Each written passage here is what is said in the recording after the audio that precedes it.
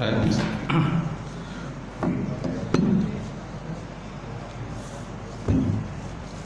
Kita buka majlis dengan sama-sama membaca kitab.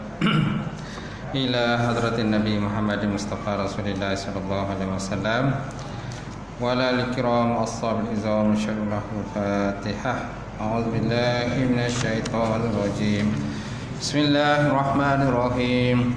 Alhamdulillahi rabbil alamin arrahmanir rahim maliki yaumiddin iyyaka na'budu wa iyyaka nasta'in اهدنا الصراط المستقيم صراط الذين أنعمت عليهم غير المغضوب عليهم ولا الضالين آمين السلام عليكم ورحمة الله وبركاته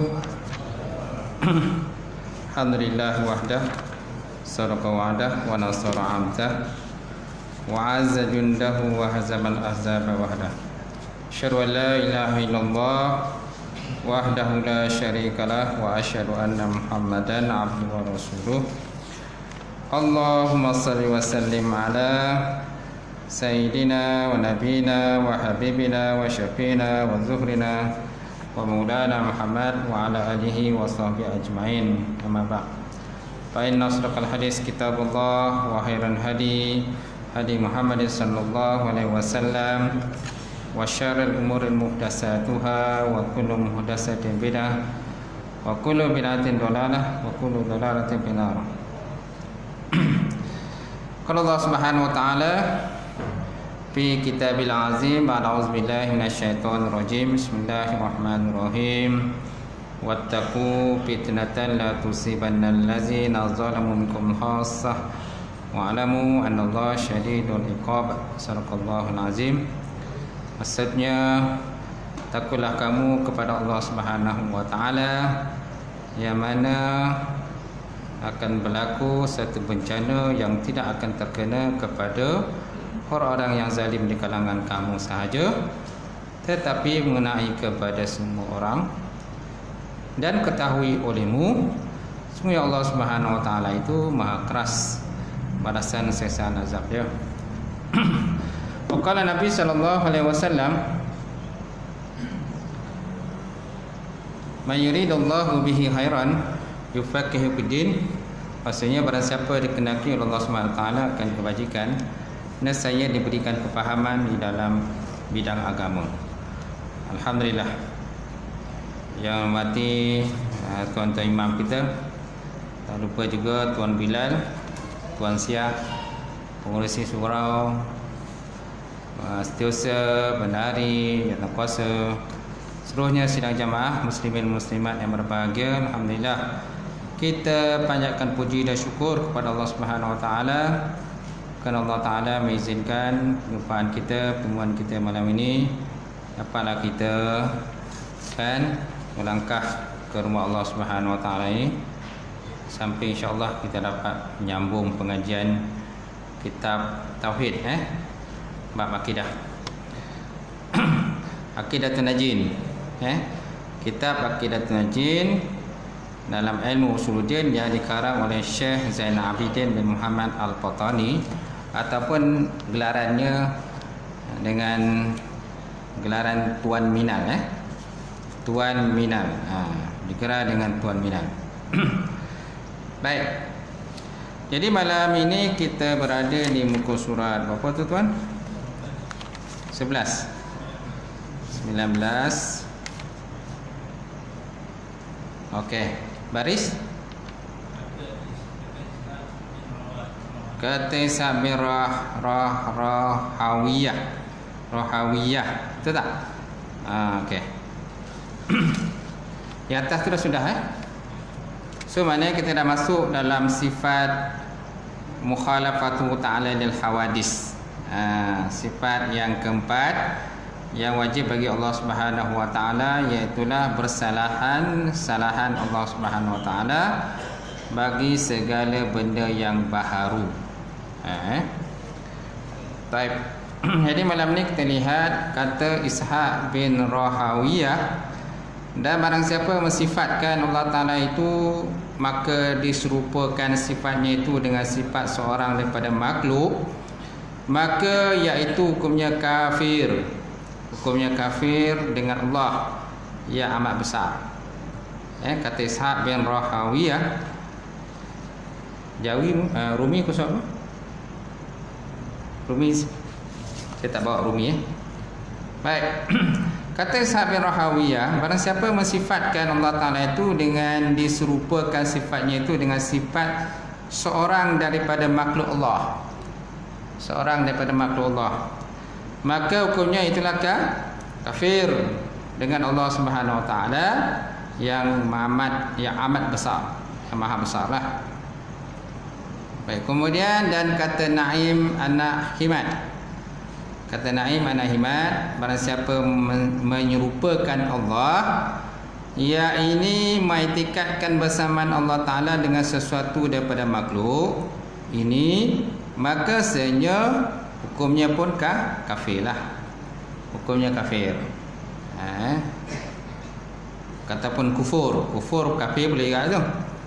Ha, kufur.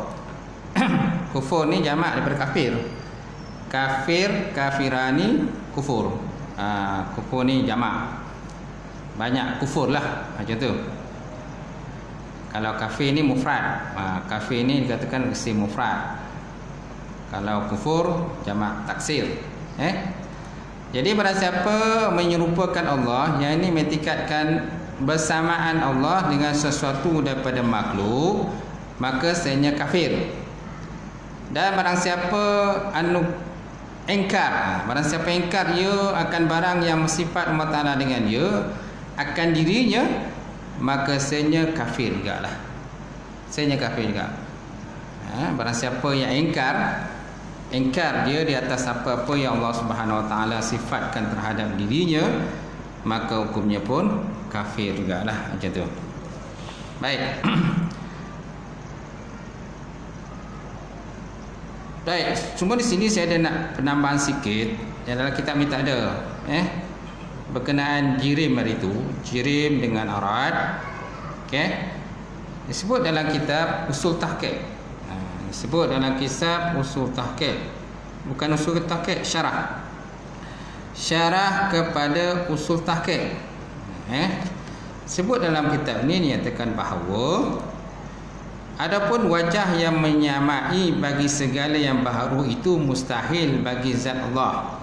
Itu ada 12 ha, eh? Adapun wajah yang menyamai bagi segala yang baharu itu mustahil bagi zat Allah itu ada 12 Pertama bahawa adalah zat Allah Ta'ala itu jirim yang mengambil sekadar lulus dirinya daripada lapang. Yang pertama bahawa ditulisnya kat situ tak ada. Tuan-tuan boleh tengok mana-mana.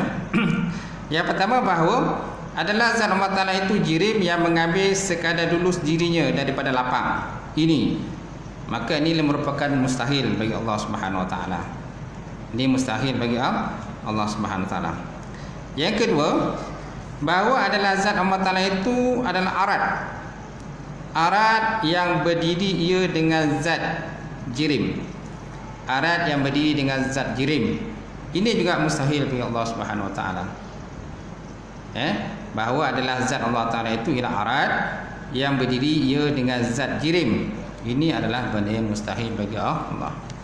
Eh, kerana setiap uh, setiap uh, makhluk itu, makhluk itu dia pecah pada dua. Boleh sebut makhluk pecah dua kan? Pertama jirim, yang kedua arat.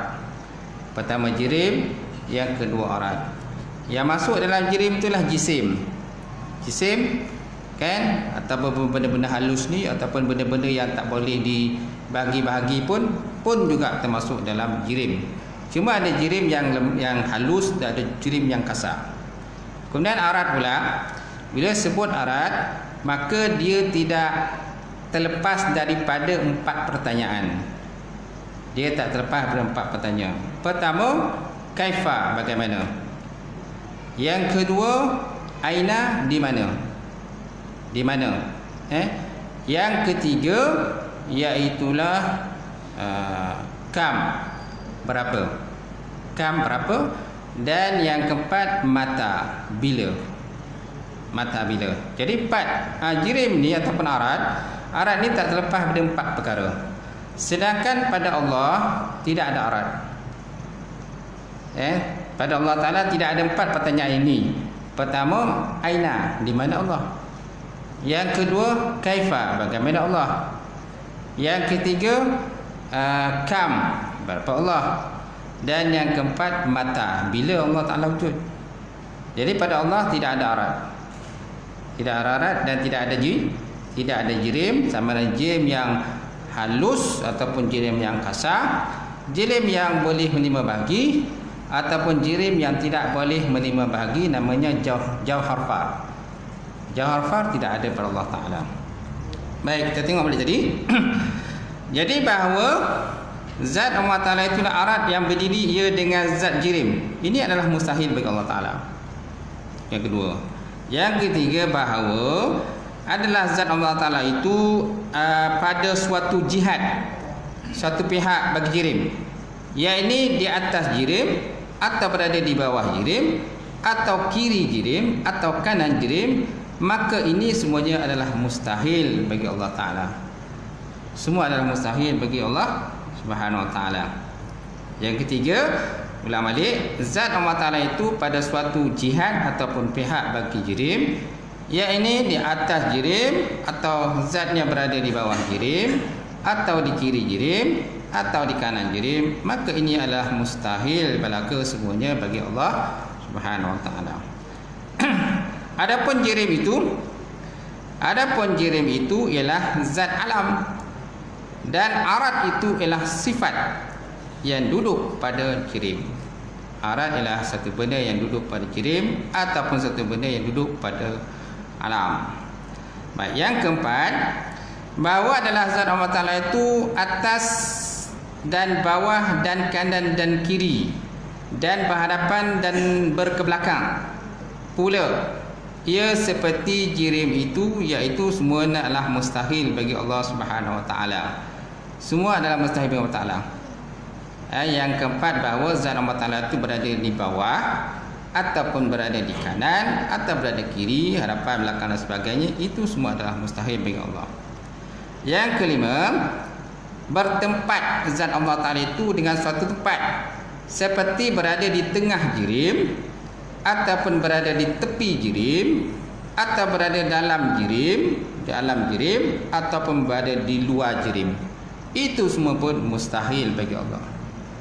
Itu semua mustahil bagi Allah Ta'ala. Ya, yang kelima bertempat Allah Ta'ala itu dengan suatu tempat seperti berada di tengah jirim. Berada di tengah jirim atau berada di tepi jirim atau berada dalam jirim luar jirim pun semua adalah mustahil bagi Allah Subhanahu wa taala. Eh? Yang keenam bertempat zat Allah taala itu dengan suatu masa yang tiga masa. Iaitu masa yang dahulu atau masa yang sekarang ini ataupun masa yang akan datang. Masa yang akan datang. Itu juga adalah mustahil bagi Allah Subhanahu wa taala. Eh, bertempat Allah Taala itu dengan suatu masa seperti berada di tiga masa, masa dahulu, masa sekarang dan masa akan datang. Semua adalah masa Allah.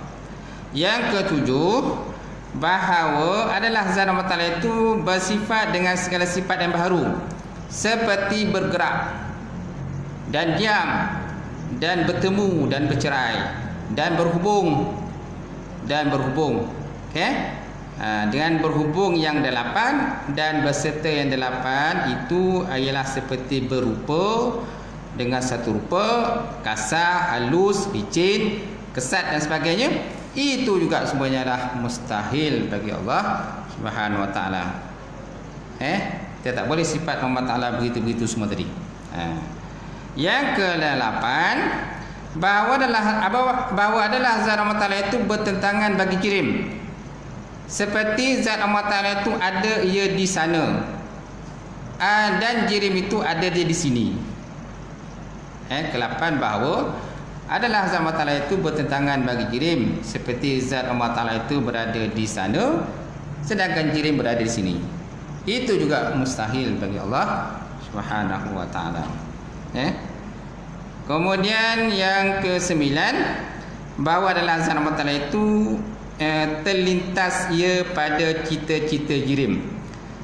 Terlintas ia pada cita-cita jirim pun mustahil bagi Allah. Mana apa yang terlintas oleh manusia tentang zat Allah Ta'ala itu adalah mustahil. Eh, bukan sebagaimana yang eh, difikir-fikirkan oleh manusia. Sesuai dengan hadis Nabi tafakkaru fi khalqillah wala tafakkaru fi zatillah berfikirlah kamu tentang alam dengan kamu berfikir tentang zat Allah Subhanahu wa taala. Yang ke-10 bahawa adalah zat Allah Ta'ala itu bersifat kecil. Iaitu sedikit sukunya tiada boleh menerima bahagi seperti jauhar yang tunggal. Ini juga mustahil bagi Allah Subhanahu Wa Taala. Adalah zat Allah Ta'ala itu bersifat bersifat kecil iaitu seperti sedikit sukunya. Kecil sangatlah sikit sangat. Suku suku kecil lah. Ha, macam tu. Halus sangat. Yang mana dia tak boleh menerima bahagi. Seperti dalam istilah bahasa Arabnya jauhar far. Ataupun jauhar yang tunggal. Ha, satu satu atom yang sangat halus yang tak boleh menerima bahagi lagi. Allah Ta'ala pun bukannya begitu kata Musonib baik seterusnya yang ke-11 bahawa adalah azam Allah Ta'ala itu bersifat dengan besar. Iaitu banyak sukunya menerima bahagi jisim. Artinya bertubuh bertubuh. Eh? Adalah azam matahari itu bersifat dengan besar iaitulah banyak sukunya banyak badannya badan tu boleh bersuku-suku boleh boleh pecah-pecah kan? Boleh yang kata kerat-kerat kerat dan sebagainya. Gambar badan kita kan termasuk yang boleh dikerat-kerat tak? Dulu kan pernah dalam siapa yang kena bunuh tu ha? ha yang mau napin dibunuh tu lah. Kan dikerat-kerat tu tu. Berapa korek tu korek tu? Apa boleh silap saya eh? Yang yang YB tu lah. Saya tak ingat nama dia. Datuk Tahai oh tu Mazlan. Nah tu Mazlan. Kan? Ada korek tu kan masya-Allah. Zalim betul kan?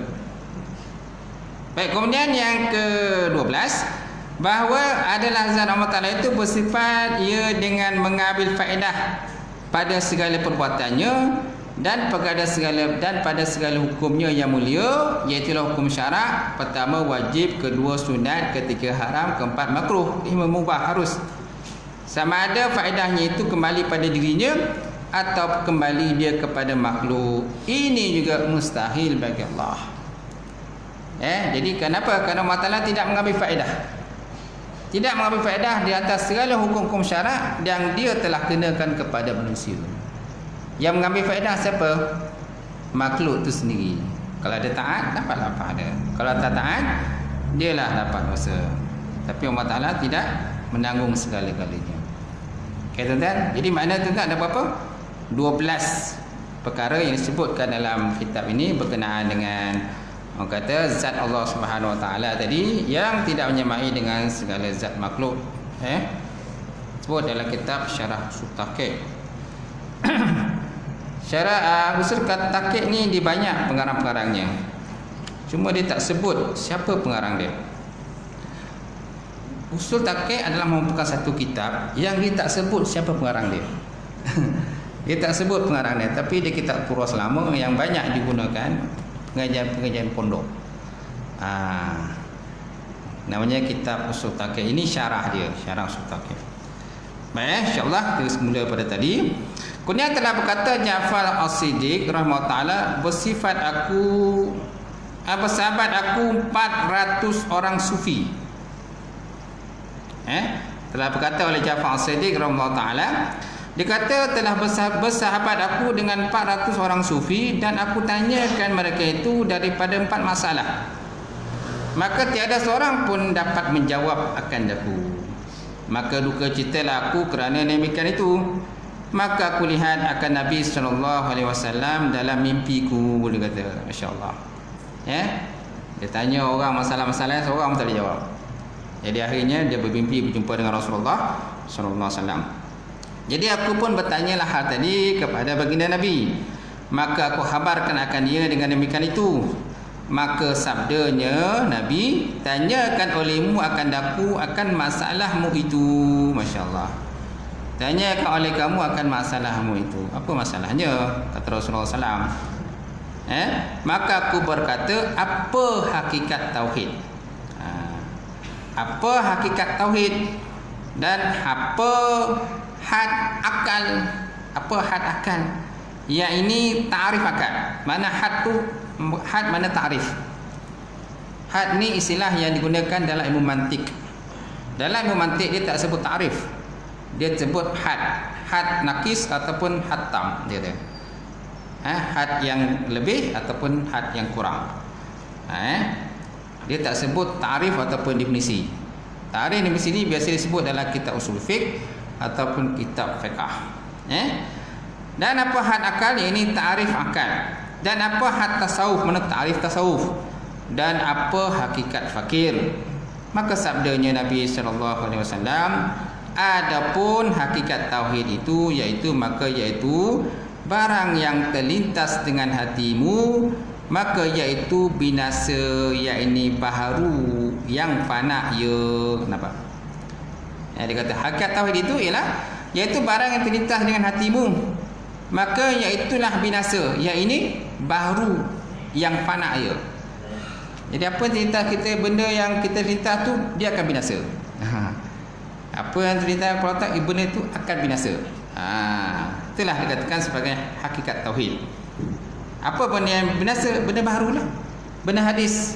Setiap benda yang hadis dia akan binasa uh, eh kemudian bermula Allah Subhanahu Wa Taala bersalahan bagi yang demikian itu kerana tiada dapat menyamai segala yang baru eh riwayat akan dia eh jadi bermula Allah Subhanahu Wa Taala tadi tuan-tuan eh tidak sama seperti makhluk. Kesalahan demikian tadi kerana tiada dapat menyamai segala yang baru itu dengan Allah Subhanahu wa taala. Baik, kemudian ada pun hakikat akal pula. Had akal ataupun takrif akal. Iaitu maka sekurang-kurangnya meninggalkan dunia. Dan dan di, yang dan yang di atasnya meninggalkan berfikir pada zat Allah Subhanahu wa taala kerana sabda Nabi sallallahu alaihi wasallam tafakkaru fi nikmatillah wala tafakkaru fi zatillah. Berfikirlah kamu tentang nikmat Allah Subhanahu wa taala yang Allah kurniakan pada kita. Jangan kamu berfikir tentang zat Allah. Kita tidak akan mampu mencapai zat Allah Subhanahu wa taala. Eh? Kalau kita duk fikir-fikir kan kita silap-silap kita boleh jadi gila lah. jadi gila lah kan memikirkan zat Allah Ta'ala tu Masya Allah eh? dan ada pun had tasawuf ataupun definisi tasawuf pula iaitu maka iaitu meninggalkan dakwa ha, ya, artinya jangan dibangsakan sesuatu pada makhluk dan menyembunyikan ma'ani yakni segala rahsia. Jadi had tasawuf itu yang meninggalkan dakwa meninggalkan berbantah-bantah. Kerana ada kalangan kita kan suka berbantah-bantah. Bantah-bantah bergaduh bertokak kan?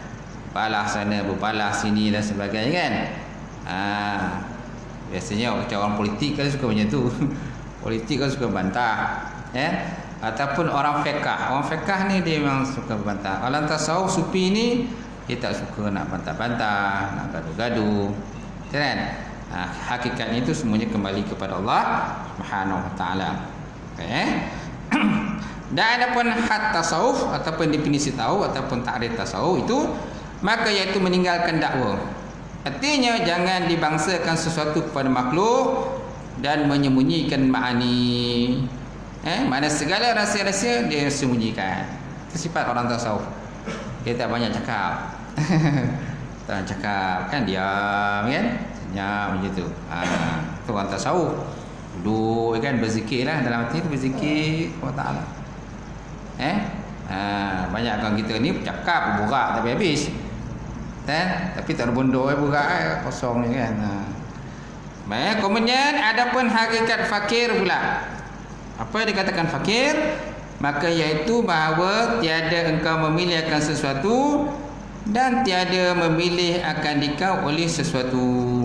Dan redha engkau pada kedua hal ini dan arti tiada engkau memilih akan sesuatu itu iaitu tiada engkau pandang akan barang yang ada padanya engkau itu. Milik engkau hanya engkau pandang penaruhan. Penaruhan Allah Taala juga harus bagi Allah mengambil pada waktu yang dikenaki oleh Allah Subhanahu Wa Taala. Harus Allah Taala mengambil balik apa yang kita milik. Dan kita jangan duk fikir-fikir sangat apa benda yang kita milik. Eh? Kereta kita, rumah kita, aset kita jangan duk fikir sangatlah benda-benda macam tu. Ha, kalau ada ya ada. Tak ada sudah. Kalau ada alhamdulillah syukur kita pada Allah Taala kan.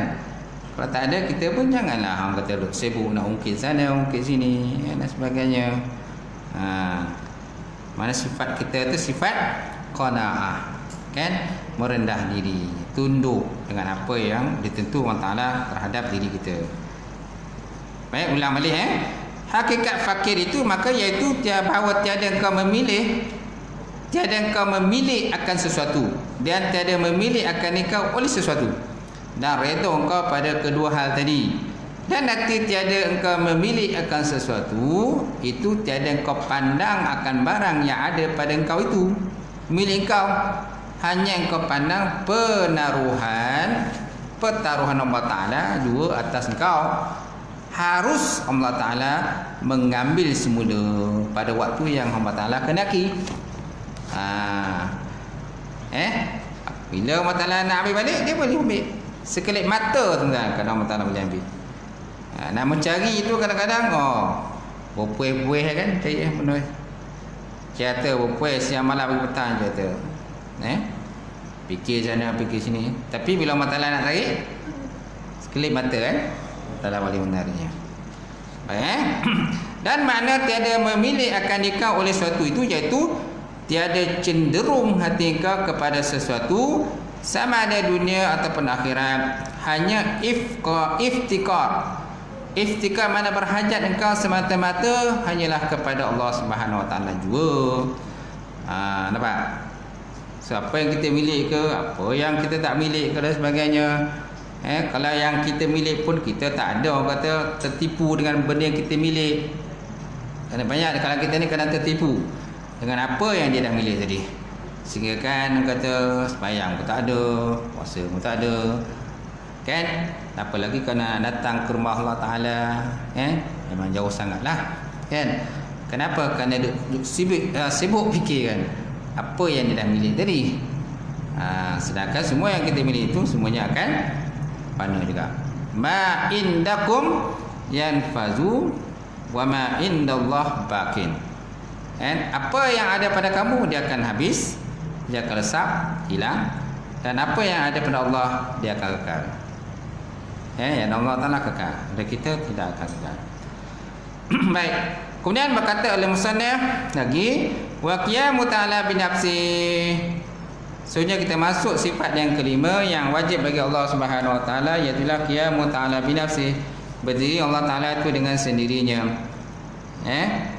Artinya yang kelima daripada sifat yang wajib Taala itu ya qiyamu ta'ala bi nafsi. Artinya berdiri Taala itu dengan sendirinya dan telah mentafsir oleh musannif pengarang. Akan makna qiyamu ta'ala bi nafsi itu dengan katanya ai la yaftakiru ila mahallin wala mukhassisin. La yaftakiru ila mahallin wala mukhassisin. Maksudnya tiada berkendak kepada zat dan tiada berkendak kepada fa'il yang menjadikan dia. Eh dan tidak kepada fa'il mana orang yang melakukan yang menjadikan akan Allah. Kenapa? Kerana matalah itu berdiri dengan sendirinya. Dia wujud dengan sendirinya. Tiada siapa yang menciptakan dia. Tiada siapa yang menjadikan dia. Eh dan dia kekal eh selama-lamanya. Atau masuk Allah Taala qiyam Taala bi nafsi berdiri dengan sendirinya. La yaftakiru ila mahallin tiada berkendak kepada zat yang menjadikan dia dan tiada juga berkendak kepada fa'il perbuatan yang menjadikan dia. Eh dia tak berhajat pada orang yang menciptakan. Sebab apa? Kerana dia yang mencipta bukan dia kena cipta. Ha, sedangkan kita adalah dicipta oleh Allah. Kita adalah makhluk. Istimaful istimaful mana yang kena buat? Maful. Sedangkan Allah Taala khaliq isim fa'il isim mana yang membuat yang melakukan khaliq makhluk ha, isim fa'il dan isim maful kalau tuan-tuan belajar ilmu saraf jumpalah benda tu isim fa'il isim maful tengkah, larangan, isim zaraf zaman, zaraf makan, isim alat. Eh? Itu tasrif tu. Kan? Ha, jangan lupa tasrif tu. Kan? Ha, senang je tasrif. Nasara, nasara, yang suruh nasran. Saya dulu ngaji Indonesia, dia ada lagu tu pada tasrif tu. Tasrif ni ada lagu. Macam mana lagu tu? Contohlah kita tasrif nasara. Nasara yang suruh nasran. Ha, fahuwa nasirun. Wazaka mansurun. Unsul la tansurun mansarun. Mansarun minsurun. Ha. Dia ada lagu eh. Nasara, Nasara, Nasaru, Nasarat Nasarata, Nasarna. Nasata, Nasartuma, Nasartum. Nasati, Nasartuma, Nasartuna Nasartu, Nasarna. Ha, Dia lagu kan? Ha. Itu sebabnya bila kita serimi kalau ada lagu, senang ingat. Kalau tak ada lagu tu Memang payah nak ingat Kerana bahasa, bahasa Arab, kalimat bahasa Arab ni banyak. Bukan sikit kalimat dia. Banyak. Tengoklah kalau kamus, contoh kamu merawi tempat ni. Kamu merawi tempat ni. Itu kamu merawi dia, belum kamu lagi, ah, kamu munjil lagi, kamus tu, kamus ni dan sebagainya. Malahan waktu saya mengaji di UKM pun, dia ada satu subjek. Satu subjek, kamus saja. Satu subjek, dia bicara tentang kamus saja. ha, kamus saja. Pelbagai jenis kamus yang terdapat dalam masyarakat. Ha, bukan satu kamus. Kalau kat sekolah tu, dak sekolah tu, satu kamus eh. Tak ada kamus lain lah. Kan? Ha, tapi kalau mengaji universiti, kan? Kalau pergi mana Mesir ke apa kan? Jordan ke, banyak lagi kamus kan? Lama-lama kamus. Kita pun kadang poning mana satu kamu nak pakai. Ha, nak cari dia punya makna yang tepat. Eh? Baik, baik. Seterusnya tuan Maka lazim dengan kata tiada berkenaan pada zat Allah Ta'ala itu bahawa ada ia zat Bukan ia sifat. Kerana sifat itu tak dapat tiada bahawa berdiri dia dengan zat. Eh? Ulang balik. Maka lazim daripada kata Tiada berkenaan pada zat itu bahawa ada ia zat Ha, jadi kalau Allah Ta'ala tidak berkenak pada zat Mana Allah Ta'ala Allah Ta'ala sendiri adalah zat. Kalau Allah Ta'ala itu sifat Sudah tentu berkenak pada zat. Ha, Sifat berkenak pada zat. Okey Contohnya cikgu bakar. Dia pakai waju merah. Ha. Merah tu, kat mana duduk eh? Kat mana duduk merah tu? Dekat zat baju tu lah. Ha, Dekat kain, dekat benang tu kan? Kalau tak ada benang tu ada tak warna merah? Ada kan? Ha, jadi merah tu duduk pada zat itu. Ha, merah duduk pada kain. Kerana asal kain tu kadang-kadang bukannya merah pun. Asalnya kadang warna putih. Lepas tu dicelup kan, celup, celup, makalah. Ikutlah berkendak pada orang yang mencelup tu, dia nak warna apa? Warna merah, kuning, biru, hijau, semua boleh tukar. Boleh kan? Ha, kerana asalnya dia bukan warna, warna merah. Jadi merah tu hanya duduk pada zat. Jadi Allah Ta'ala bukannya sifat. Kalau Allah Ta'ala bukannya sifat, maka dia tidak. Kalau sifat berkenaan pada zat. Hanya tu. Eh? Maksudnya, dan lazim dengan kata tiada berkenaan kepada zat, itu bahawa ada ia zat. Bukannya sifat. Ha, mana Allah Ta'ala bukan sifat. Kerana sifat itu tak dapat tiada bahawa berdiri dia dengan zat dan tiada sah ia berdiri dengan sendirinya. Sama ada sifat qadim atau sifat yang baru. Eh? Dan tiada sah ia berdiri dengan sendirinya. Sama ada dia sifat qadim ataupun sifat yang baru. Dan demikian lagi diambil daripada kata bahawa uh, dikat, dan diambil daripada kata tiada berkendak kepada fa'il itu lazim dia qadim lazim matala tu qadim sedia bukan dia baru. Kerana yang berkenaan kepada fa'il yang mencipta itu ialah ialah segala yang baru. Jadi segala yang baru berkenaan pada perkara fa'il. Fa'il orang yang membuat ataupun orang khalik orang yang mencipta. Macam ni kita berkenaan kepada orang yang mencipta. Ha. itu juga pada benda lain. Rumah. Rumah berkenaan kepada orang yang membuat rumah. Kereta berkenaan kepada orang yang mencipta kereta. Siapa yang mencipta kereta, siapa yang buat kereta. Kan? Sama ada robot yang buat ke, robot pun kadang-kadang dicipta oleh manusia juga. Robot yang buat kereta, kadang kereta kadang-kadang kira-kira kereta kadang-kadang dia tak pakai manusia kan. Dia pakai robot. Robot tu yang tembak sana, tembak sini, tembak sana kan. Ha, dia buat dia setiap komponen-komponen kan. Ha, yang terdapat pada kereta tu, eh. Ha, jadi robot pun siapa yang setting dia? Manusia kan? Manusia yang setting dia. Dan robot pun manusia yang mencipta robot. Ha, nampak? Jadi robot mengikut arahan orang yang men-setting dia. Manusia tadi. Ha, macam tu. Kereta, rumah, bangunan, ha, apa lagi? Semuanya adalah benda yang dicipta oleh manusia. Ha, dan manusia pula siapa yang mencipta itu Allah Subhanahu wa taala. Dan tafsir qiyamut ta'ala bin nafsi dengan tiada berkendak kepada tiap-tiap yang mahal. Mahalun maknanya tidak berkendak pada zat. Dan muhassis tidak berkendak kepada fa'il. Yang menjadikan dia. Eh? Itu istilah bagi setengah di kalangan golongan mutakallimin. Setengah daripada tarif yang digunakan pakai oleh golongan-golongan mutakallimin, orang-orang yang mutakallim. Mana orang-orang yang dalam bab tafilah. Ha, mutakallim maksudnya orang berkata-kata, berkalam. Eh? Dan dia itu yang masyhur. Dan pada istilah setengah daripada mereka itu bahawasanya dengan makna tiada berkehendak kepada mahal dua mana tidak ada tidak dikaitkan dengan tiada berhajat kepada muhassis hanya disebut tiada berhajat kepada mahal dua maka hanyalah kerana bahawa tiada berkehendak kepada muhassis itu maklum dengan sifat kidam yang ada kepada Allah Subhanahu Wa Taala eh jadi kenapa dia tak sebut muhassis hanya sebut tiada berhajat pada mahal saja. Kerana bila sebut tiada berhajat pada muhasib ini dah termasuk dalam pembahasan dalam bab kidam. Ha, jadi dia tak tak bahas lagi lah macam tu. So mana ada dua kaul ada dua pendapat berkenaan dengan definisi ataupun takrif kepada qiyam muta'ala bin nafsi. Pendapat pertama menyatakan qiyam muta'ala bin nafsi maksudnya la yahtaju ila mahalin wala muhasisin. Sedangkan pendapat yang kedua menyatakan la yahtaju ila mahalin sahaja. Tak ada wala muhasisin. Faham kan tu kan?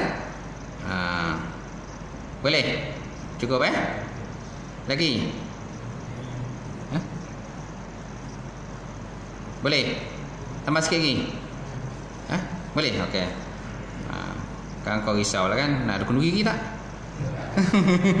tak ada kenduri. Kat sini kan kaji kenduri. Ha, eh? Baik eh? Ketahui lima segala maujudat maujudat itu dengan nisbah kepada mahal dan muhasis itu terbahagi kepada empat bahagi maujudat benda-benda yang wujud maujud benda-benda yang wujud. Eh? Benda-benda yang wujud ini kalau kita nisbahkan kepada mahalin kepada zat dan dan kepada muhasis pada definisi di atas tadi dia terbagi pada empat. Pertama satu bahagi tiada berkendak kepada mahalin dan tiada berkendak kepada muhasis iaitulah zat Allah Subhanahu wa taala. Zat Allah taala tidak berkendak kepada mahal kepada zat yang menciptakan dia sebab dia zat. Dan Allah taala juga tidak berkendak kepada muhasis mana yang fa'il yang menjadikan dia. Dan satu bahagi berkendak ia kepada keduanya Iaitulah arat bagi segala makhluk. Kalau arat, arat kan makhluk, eh? Ha, dia berkenak kepada zat yang menciptakan dia dan zat yang menjadikan dia. Dan satu bagi tiada berkenak kepada mahalin dan tiada berkenak menghasis iaitulah zat segala yang baharu. Zat segala yang baru. Kerana zat dengan arat berbeza. Eh? Arat duduk pada zat. Ha, zat zat lah, arat-arat lah. Tapi arat tidak boleh bercerai tanggal daripada zat. Selagi mana ada zat, situlah ada arat. Arat akan duduk pada zat itu. Dia tidak akan bercerai tanggal. Eh, sama ada diam ataupun tak diam. Bergerak ataupun tak bergerak. Selagi mana ada zat, selagi itulah akan ada arat. Ha, gitu. Baik, kemudian dan satu bagi berdiri ia dengan mahalin dan tiada berkendak kepada muhassis iaitulah sifat Allah Subhanahu wa taala. Jadi itu mana ada empat. Eh, empat perkara. Dan sesungguhnya telah jatuh ada oleh Fakhurazi, Imam Fakhurazi sekira-kira ibarat ia pada bahagi ini dengan berkenak. Dengan berkenak kerana tilik daripadanya kepada mustahil berdiri sifat Allah Ta'ala itu dengan sendirinya. Dan wajib berdiri ia dengan zat yang suci serta lalai ia daripada barang yang beri waham oleh takbir takbir dengan iftikar takbir dengan berhajat. Eh ibarat dengan berhajat eh? Ha, lalai ia dan wajib berdiri ia dengan zat. Wajib berdiri ia dengan zat yang maha suci inilah sifat atau arat. Sifat wajib berdiri dengan zat. Serta lalai ia daripada barang yang beri waham oleh takbir yang iftikar yang bangsa kepada berhajat. Eh? Ha. lali ke lalai? Lali lalai eh? Ha. lalai ia daripada barang yang memberi waham oleh takbir dengan iftikar. Ha. sampai sini lah. Dan hasilnya tiada harus dikata. Dan hasilnya tiada harus sifat Allah Ta'ala itu berkenak kepada zat kerana memberi waham ia baharu atau masuk waham tadi. Eh hasilnya tiada harus dikatakan sifat Allah Ta'ala itu berkenak kepada zat kerana memberi waham memberi waham dia baru. Kalau zat Allah Ta'ala tadi berkenak kalau sifat Allah Ta'ala berkenak kepada zat dan tiada harus dikatakan sifat Ta'ala itu berkenak pada zat kerana memberi waham dia baharu memberi waham dia baharu sedangkan zat Allah Ta'ala sedangkan sifat Allah Ta'ala sifat Allah Ta'ala bukan baharu ha. dan wajib kita dekatkan zat Allah Ta'ala itu bersifat dengan segala, segala sifat kamalat sifat kesempurnaan. Lagi kaya ia daripada sesuatu. Yang ini tiada berkendak ia kepada sesuatu pun dan sekalian yang lain itu berkendak kepada Allah Ta'ala. Seperti mana firman Allah Subhanahu Wa Ta'ala? Ya ayuhan nas antum fuqara'u ila Allah wallahu wal ghaniyul hamid. Wahai manusia kata Allah. Ya ayuhan nas wahai manusia antum fuqara. Kamu merupakan orang-orang fakir. Uh, ila Allah kepada Allah taala. Apa maksud orang fakir? Berhajat pada Allah kita ni semua fakir uh, hakikatnya kita ni semua fakir zahir nampak macam kita kaya Zahiriat kita nampak kita kaya. Tapi hakikatnya kita faham fakir. Orang kaya macam mana pun masih lagi berhajat kepada Allah. Ha. Walaupun harta dia banyak, berbilion-bilion, berjuta-juta harta dia banyak. Tapi masih berhajat kepada Allah. Kalau Allah Ta'ala tak bagi kesihatan pada dia, boleh tak dia menguruskan harta dia? Tak boleh. Eh, terlentang macam tu je, terlentang. Harta banyak. Kan? Lentang kan? Ha, macam kena stroke tu kan? Tentang harta banyak. Berjuta-juta. Tapi tak mampu kita nak tabir tak mampu pun nak urus kan? Ha, jadi maksudnya manusia pun semua berhajat kepada Allah Subhanahu Wa Taala. Wallahu wal ghaniyul hamid dan Allah dia yang taala tu maha kaya lagi maha hamid maha terpuji ataupun amat terpuji dan citra ataupun cerita wallahu alam bisawab wa ilaihi Cukup sekadar tu pengajian kita malam insya-Allah. Ada persoalan tak? Sebelum saya tutup.